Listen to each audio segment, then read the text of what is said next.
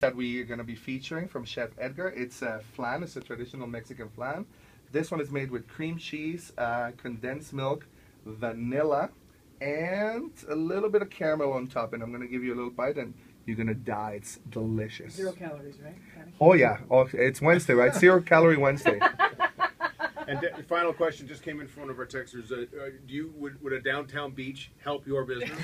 Mm, um, well, if we had a beach, I, I think it would, but a proper beach. And a big rotisserie, a big spit right go. in the middle. There you go. Dani Braun, thanks for thanks for joining us. it's always great me. to see you and look forward to uh, seeing you at both restaurants very soon.